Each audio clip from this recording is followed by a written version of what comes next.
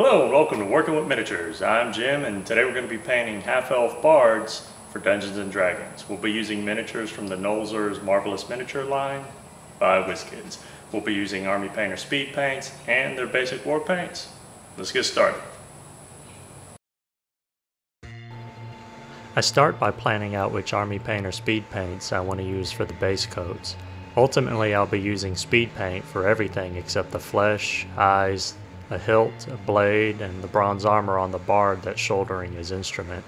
While applying speed paints, I try to apply them as accurately as possible as I do experience the reactivation issues associated with the Army Painter speed paints, especially when using the lighter colors of the set.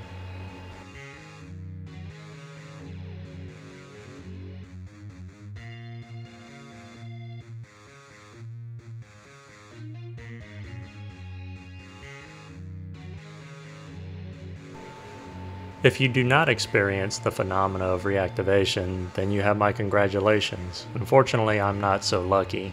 If you have the problem with reactivation as I do, you can work around this by painting all of the areas with the speed paints you plan to use, and then varnishing them. Once the varnish is set, you can resume layering over the speed paint safely.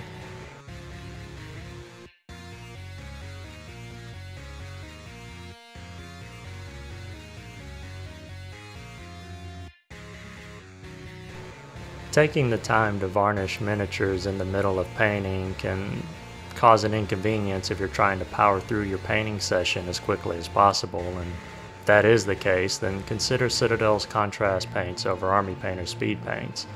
I am admittedly a fan of both for mostly similar reasons, but they both have their own pros and cons. For me, I spend several days painting miniatures as I only have so much free time due to the endless other projects I find myself inundated with. So having to take this extra step of varnishing doesn't create a roadblock for me.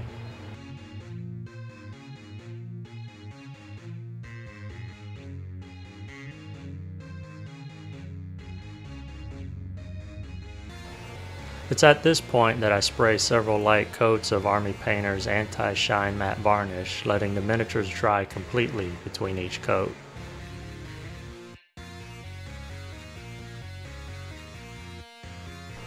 After the varnish has finished drying, I can now finish base coating and adding layer highlights, as well as correct any mistakes made with speed paints without fear of reactivation.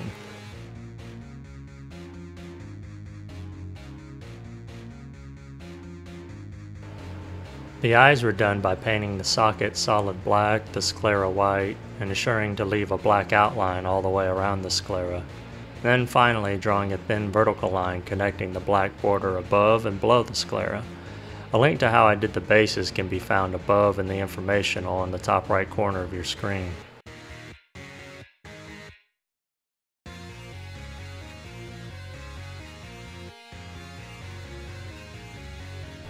Going forward, I'll be changing my approach to painting miniatures as I'm going to start pushing myself harder to get better. I'll continue using an airbrush to prime and create initial highlights, but I'll no longer be using only a static overhead light source. I'll be looking to incorporate OSL or more angled light sources, such as from a setting sun. I will also continue to use speed paints, but I'll be looking to push contrast between light and dark and spending more time glazing more subtle changes in highlights, and working my way to significantly brighter highlights.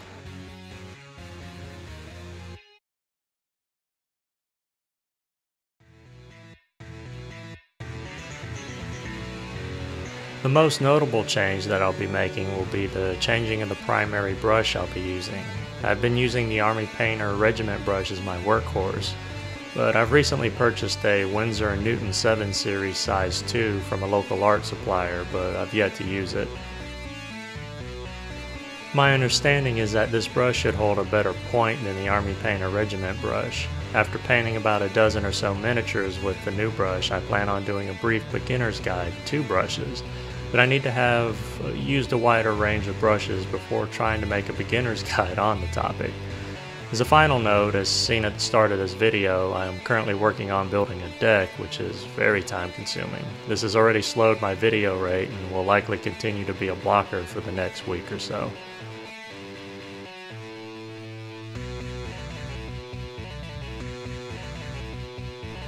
This is the finished product. I'm looking forward to painting the next set of miniatures and using the new brush and the new steps that I'm going to make myself take. I just wish I could get through this deck a lot quicker.